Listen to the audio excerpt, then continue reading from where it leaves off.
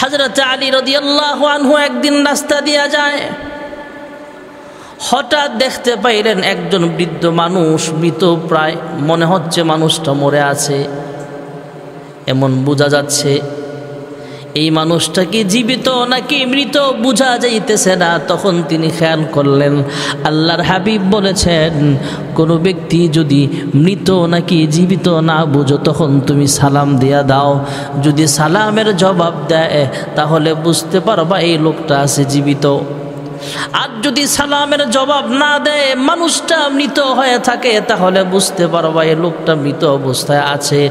তবে মৃত ব্যক্তির উপরেও আল্লাহর রহমত নাজিল হবে। সালাম দিয়া দাও।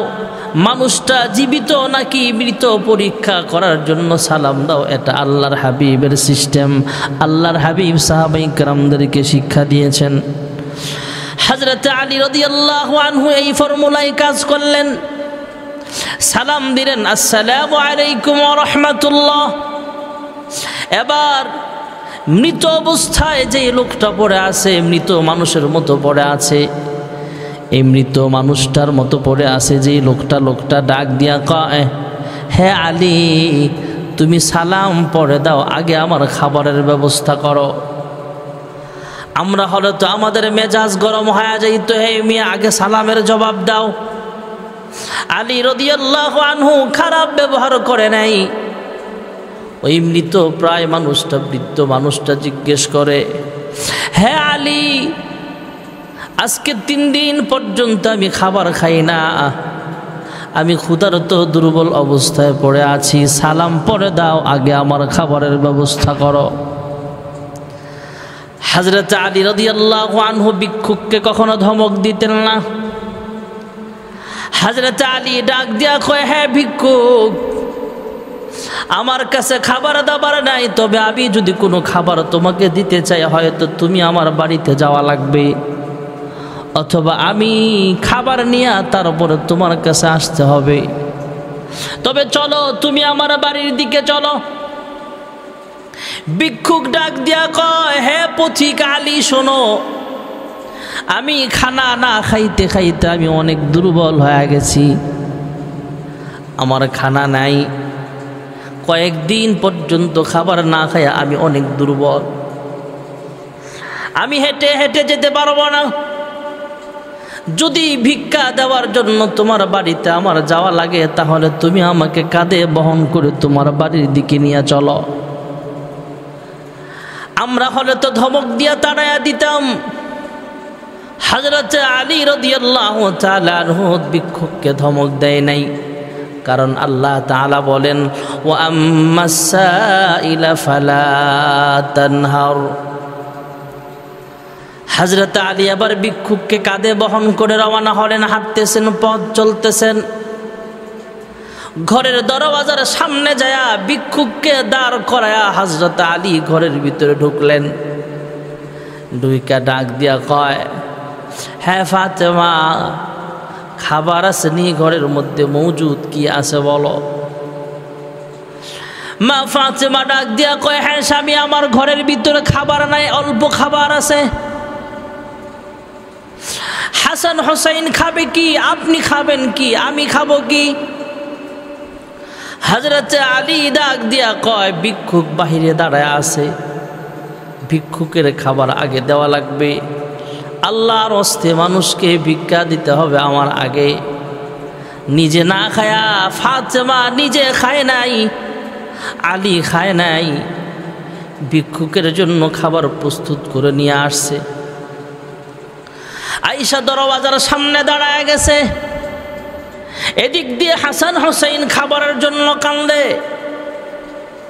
ফাতেমাও বলে, আগে হাসান হোসেনকে খাবার দাও। আলী ডাক দিয়া কয়, ভিক্ষুক বাহিরে দাঁড়ানো আছে, আগে ভিক্ষুককে আমার বিদায় করা লাগবে। এবার ভিক্ষুককে খাবার দেওয়ার জন্য সামনে গেছে।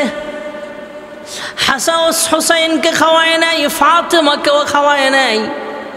আলী ভিক্ষুককে খাবার খাওয়ানোর জন্য যখন দরওয়াজার সামনে দাঁড়ায়, তাকায় দেখে ভিক্ষুক অসুস্থ নয় ভিক্ষুককে আবার পরিপূর্ণ সুস্থ দেখা যায়।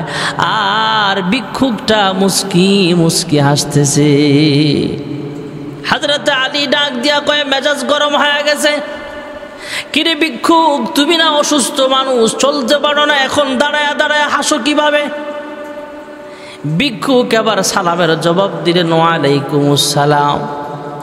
হে আলী তুমি যে, আমি যখন অসুস্থ অবস্থায় রাস্তায় পড়েছিলাম, সালাম দিয়েছিল, এখন তোমার সালামের জবাব লইলাম। হে আলী, শোনো, আমি আসলে দুনিয়ার কোনো মানুষ নই। আমি কোনো অসুস্থ নই, আমি কোনো ভিক্ষুক নই। আমি হলাম আসমানের রহমতের ফিরিস্তা। আমি ভিক্ষুক বেশে বৃদ্ধ মানুষের সৌরত ধরে রাস্তায় পড়েছিলাম তোমাকে পরীক্ষা করার জন্য। এখন ঘরে আইসা দেখলাম তুমি আমাকে কাঁধে বহন করে আমাকে নিয়ে আসলা। ঘরে আইসাও দেখলাম হাসান হুসাইনকে না খাওয়ায়া, ফাতেমাকে না খাওয়ায়া, নিজে না খায়া ভিক্ষুককে খাবার দেওয়ার জন্য পেরেশান হয়ে গেছ। আমার বুঝতে আর বাকি নেই। অবশ্যই তুমি ভিক্ষুককে কখনো ফেরত দাও না। এ আলী, আসলেই তুমি ভিক্ষুকের খেদমত করো, মেহমানের খেদমত করো। এটা তোমার পছন্দের একটা কাজ। আমি দুনিয়ার কোনো ভিক্ষুক নই, আমি হলাম আসমানের রহমতের ফিরিস্তা। হে আলী আমি আল্লাহ তালার কাছ থেকে অনুমতি নিয়ে তোমার কাছে আসলাম তোমাকে পরীক্ষা করার জন্য।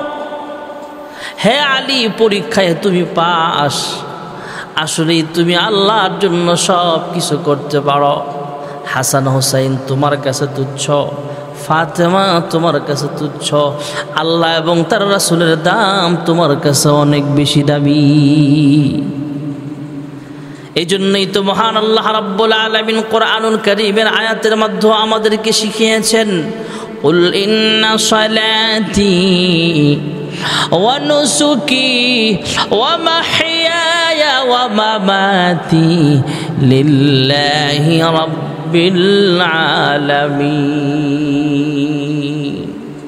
আমার নামাজ আমার কোরবানি আমার যাবতীয় সব আমল হবে আল্লাহ তাআলার জন্য যেই কথাটা বলতেছিলাম, নামাজ পড়া ফরজ জাকাত দেওয়া ফরজ, দান সৎকা এগুলোও করা লাগবে। গরিবকে ধমক দেওয়া যাবে না, ভিক্ষুককে ধমক দেওয়া যাবে না। নামাজ পাঁচ ওয়াক্ত না পড়লে জাহান্নামে যাওয়া লাগবে। নামাজ একটা গুরুত্বপূর্ণ আবাদাত ইমানদারের সবচেয়ে বড় আমল হলো পাঁচ ওয়াক্ত নামাজ। ধনী, গরিব, সকলের উপরে ফরজ।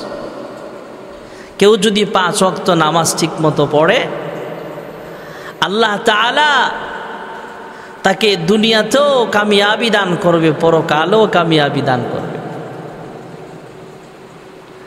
দুনিয়াতে তার রিজিকের অভাব আল্লাহ দূর করে দিবেন, চেহারার উজ্জ্বলতা বেড়ে যাবে। দুনিয়ার মোহাব্বত তার অন্তর থেকে আল্লাহ দূরীভূত করে পরকালীন জীবনের জান্নাতের লাভ, জান্নাতের আশা তার অন্তরে আল্লাহ আরও বাড়ায় দিবে। আল্লাহ রাব্বুল আলমিন আমাদেরকে সৃষ্টি করেছেন আলমে আর ওয়াহতে যখন আমাদের রুহগুলো আল্লাহ তালা সৃষ্টি করেছেন, সমস্ত রুহগুলো আল্লাহ তালা কুদ্দুতে হাতে নিয়ে একটা প্রশ্ন করেছিলেন আল্লাস্তবি রব্বিকুম? আমরা সকলেই জবাব দিয়েছিলাম, কলু বালা। আমরা সকলেই জবাব দিয়েছিলাম, হা, আপনি আমাদের রব। আল্লাহ রব্বুল আলমিনের রব, আমরা এই কথা স্বীকার করেছিলাম, আল্লাহ রব্বুল আলমিন পরীক্ষা করার জন্য আমাকে আপনাকে জমিনে পাঠাইছেন। আমার জীবন, আমার নামাজ, আমার কোরবানি, আমার সব কিছু আল্লাহ তালার জন্য হয় কিনা, রবের গোলামি হয় কিনা? এটা বোঝাবার জন্য মহান আল্লাহ তালা পরীক্ষা করার জন্য আমাদেরকে দুনিয়ার জমিনে পাঠাইছেন। কোরআনুল করিমের এক আয়াতে আল্লাহ তাআলা বলেন আল্লাযী খালাকাল মাউতা ওয়াল হায়াতা লিয়াবলুয়াকুম আইয়ুকুম আহসানু আমালা ওয়া হুয়াল আজিজুল গফুর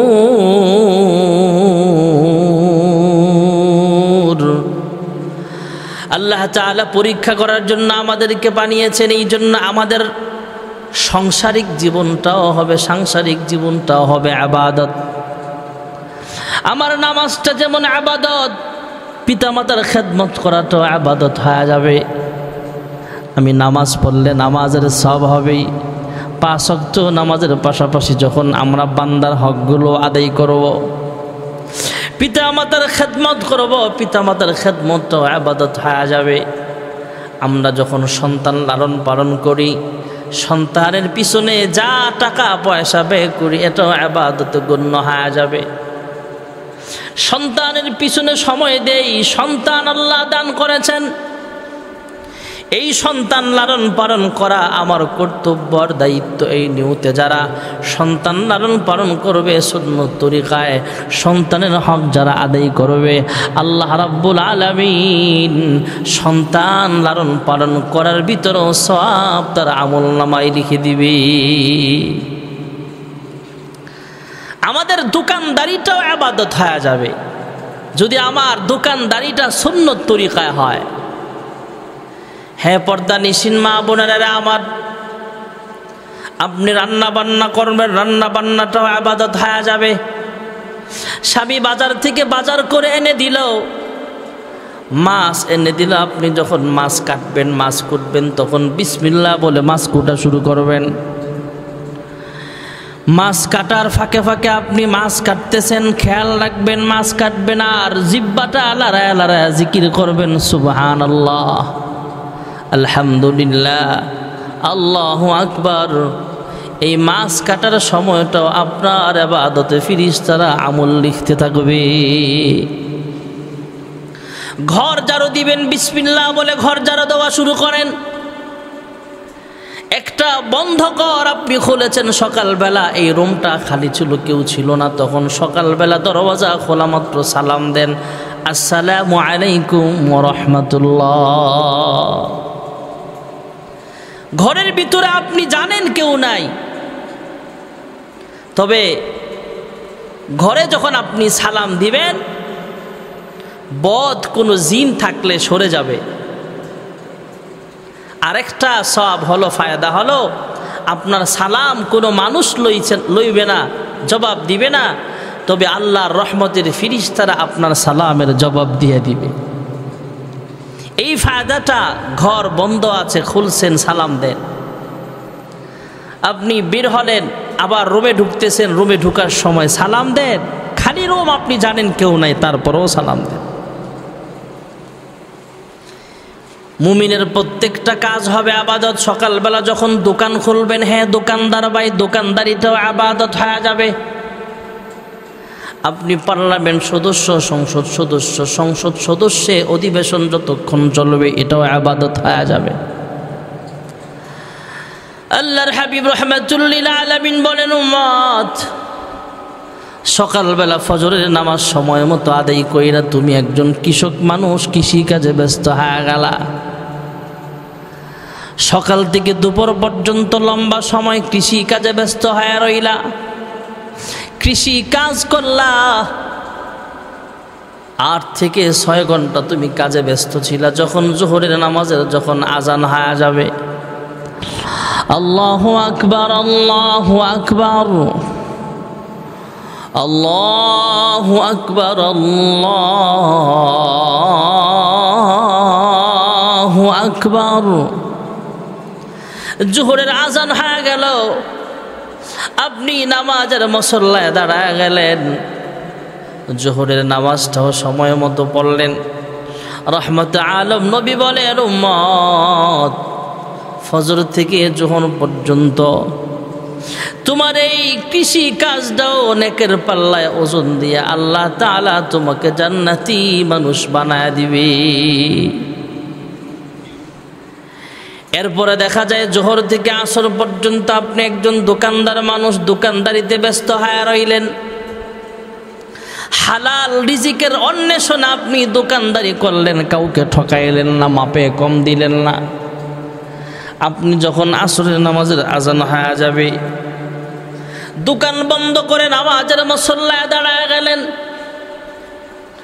আপনিও একজন দায়ী হয়ে যাবেন। যদি আপনি দায়িত্ব নিয়ে মানুষদেরকে কালিমার দাওয়াত দেন, নামাজের দাওয়াত দেন, আজান হয়ে গেছে, আপনি দোকানে তালা লাগায় দেন, দোকান বন্ধ করে দেন, দোকানদারি অফ করে। কাস্টমার আছে অথবা পাশের দোকানদার আছে, তাদেরকে দাওয়াত দেন। হে ভাই, চলেন, মসজিদে চলেন, এই যে দাওয়াত দিলেন, আল্লাহর হাবিব রহমাতুল্লিন আলমিনের ভাষা অনুযায়ী আপনি যে আরেকজনকে দাওয়াত দিলেন, আল্লাহ তালা দায়ী হিসাবে আপনাকে আবু বকরের সাথে হাসরের ময়দানে দাঁড় করায় বিনা হিসাবে আল্লাহ জান্নাতের মেহমান বানায় দিবে। আল্লাহর পথে দাওয়াত দেওয়া, নামাজের পথে দাওয়াত দেওয়া, এটা তো আমরা শেষ নবীর উম্মত হিসেবে দায়িত্ব। আপনি মসজিদে আসবেন, হাজি সাহেব, মানুষ, মুরব্বী মানুষ, আসার সময় ঘরের মহিলাদেরকে বলে আসেন, এই, আমি মসজিদে যাইতেছি, তোমরা নামাজ আদায় করে নিও। আমি মসজিদে যাচ্ছি নামাজে, তোমরাও অজু করে নামাজ পড়ো। এটা দাওয়াত। আপনি দোকানদার মানুষ, পাশের দোকানদারকে দাওয়াত দিলেন, ভাই, চলেন নামাজে চলেন। এটা দাওয়াত। আপনি নিজের স্ত্রীকে দাওয়াত দিলেন, বিবিরে, তুমি নামাজ পড়ো। এটা দাওয়াত। সন্তানকে দাওয়াত দিলেন। এটা দাওয়াত। হজরতে লুকমান হাকিমের কথা কোরআনে আসছে, উনি সন্তানদেরকে নসিহত করেছিলেন। আমরা আমাদের সন্তানদেরকে নসিহত করব, এটা দাওয়াত। আপনি আপনার প্রতিবেশীকে দাওয়াত দেন, সুন্নতের আমলের দাওয়াত দেন। যার দাড়ি নাই, তাকে বলেন, ভাই, দাড়ি রাখা রাসুলের সুন্নত সুন্নতে রাসুল। দাড়ি রাখার জন্য উদ্বুদ্ধ করান, দাড়ি রাখার জন্য দাওয়াত দেন। একজন নামাজ পড়ে না, আপনি নামাজের জন্য তাকে দাওয়াত দেন। অসৎ কাজের নিষেধ করা। হাজরতে অমর বলতেন, আমার কাছে প্রিয় কাজ হলো অসৎ কাজের নিষেধ করা। কুমতুম খৈর উম্মাতিন উখরিজাত লিন্নাস। تأمرون بالمعروف وتنهون عن المنكر وتؤمنون بالله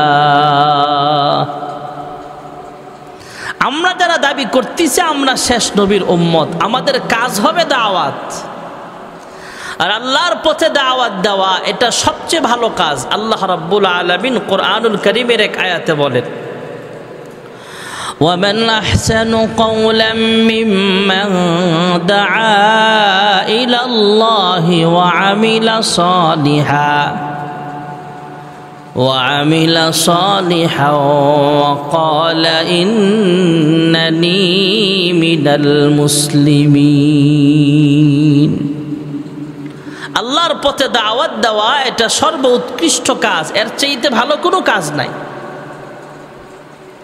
এই জন্য আমরা একে অপরকে দাওয়াত দিব। ভাই চলেন, মসজিদে চলেন। ভাই নামাজে চলেন, দাওয়াত দিব, বেশি বেশি দাওয়াত দিব। কারণ দাওয়াত দিলে আপনার দায়িত্ব পালন হবে, আপনি সব পাবেন। আপনার আমার নামাজ আল্লাহর কাছে কবুল হয় কি না আমরা জানি না, গ্যারান্টি নাই। তবে দাওয়াত দেওয়ার কারণে সব যে পাবো, এটার গ্যারান্টি আছে। এই জন্য আমরা নিজের সন্তানকে দাওয়াত দিব পিতা মাতাকে দাওয়াত দিব, বেপর্দা, চলে আমার বিবি, বিবিকে বলব, তুমি পর্দায় চলো। আমার সন্তান পর্দা মানে না, সন্তানকে পর্দার দিকে ডাকবো। একজন মানুষ জাকাত দেয় না, তাকে জাকাত দেওয়ার জন্য উদ্বুদ্ধ করব। জাকাত দেওয়ার জন্য তাকেও দাওয়াত দিব, এটা দাওয়াত। একজন মানুষ হজ ফরজ, হজে যায় না, তাকে হজ করার জন্য উদ্বুদ্ধ করা, দাওয়াত দেওয়া, এটা দাওয়াতের কাজ। একজন মানুষ মসজিদে দান করতে চায় না সৎকা করতে চায় না, তাকে দান করার দিকে দাওয়াত দেওয়া, এটা দাওয়াতি কাজ। ভাইয়েরা, আমার বন্ধুরা, আমার আমরা পাঁচ অক্ত নামাজ পড়া লাগবে। পাঁচক্ত নামাজের পাশাপাশি আমরা যখন অন্যান্য কাজগুলো করব আপনি একজন দোকানদার মানুষ, জোহর দিকে আসর পর্যন্ত দোকানদারি করলেন। আবার যখন জোহরের থেকে আসর পর্যন্ত দোকানদারি চলতেছে, শুনতে পাইলেন আসরের নামাজের আজান হয়ে গেছে। হাইয়া আলাহ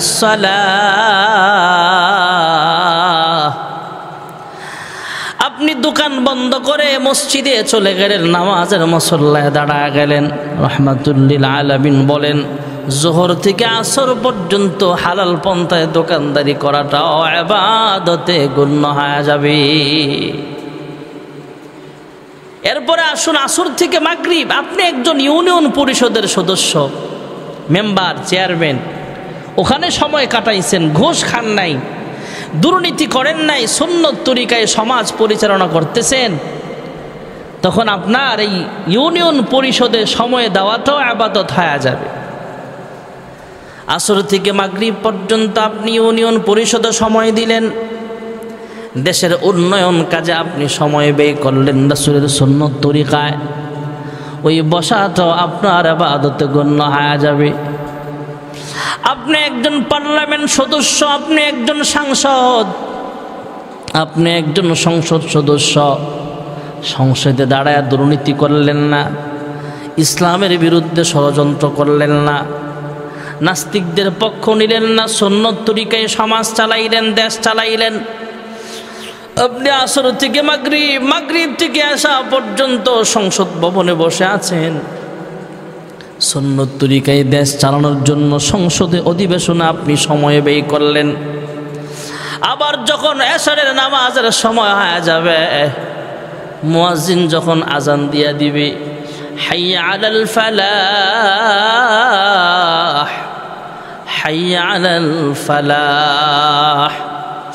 আজান হয়ে যাবে। পার্লামেন্টের অধিবেশন অফ করে বন্ধ করে দিয়া আপনি নামাজের মুসল্লায় দাঁড়ায় গেলেন, মসজিদে চলে গেলেন।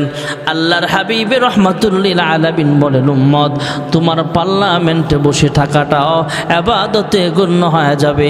যদি সেটা শূন্য তরিকায় সময় কাটানো হয়। যদি এসাডের নামাজ সময় মতো আদায় করে সুন্নত তরিকায় ঘুমায়া যায়, ঘুমের ভিতরেও সুন্নত আছে।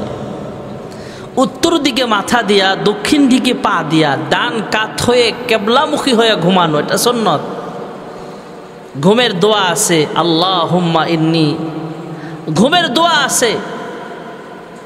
আমরা ঘুমের দোয়া পড়ে ঘুমাবো। আমরা টয়লেটে ঢুকার সময় দোয়া আছে, টয়লেট থেকে বের হওয়ার সময় দোয়া আছে। মসজিদে ঢুকার সময় দোয়া আছে, মসজিদ থেকে বের হওয়ার সময় দোয়া আছে। ঘুমের সময় আমরা দোয়া পড়ব আল্লাহ হুম্মা বি ইসমিকা মুতু আহিয়া ভাইরা আমার বন্ধুরা, আমার আমরা যখন সন্ন্যত তরিকায় ঘুমায়া যাব, শীতকালীন রাত্রটা অনেক বড়, সারা রাত ঘুমাইলাম। ফজরের ওয়াক্তে যখন মুয়াজ্জিন আজান দিয়া দিবে আসসালাতু খায়রুম মিনান নাওম। ঘুম থেকে জাগ্রত হয়ে নামাজের মুসল্লা দাঁড়ায় গেলাম। আল্লাহর হাবিব রহমাতুল্লিল আলামিন বলেন, উম্মত, সারা রাতের ঘুমটাও বিথা যাবে না। নেকের পাল্লায় ওজন দিয়া আল্লাহ তোমাকে জান্নাতের মেহমান বানায় দিবে। আল্লাহ রাব্বুল আলামিন আমাদের সকলকে যে আমলগুলোর কথা বললাম নামাজ রোজা হজ জাকাত বিশেষ করে নামাজ আর জাকাতের ব্যাপারে আলোচনা করলাম। আল্লাহ তালা আমাদের সকলকে যাদের উপরে হজ ফরজ হজ্জে বাইতুল্লাহ করার, নামাজ ঠিকমতো পড়ার, বছরে একবার হিসাব করে জাকাত দেওয়ার তৌফিক আল্লাহ দান করুক। আল্লাহ তালা যেন আমাদেরকে আমলি জিন্দিগি দান করেন। আমিন। ওয়া আখরুদ আওয়ানা আনিল হামদুলিল্লাহ রব্বিল আলমী